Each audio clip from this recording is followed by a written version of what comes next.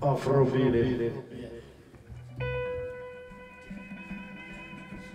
One, two, three, four.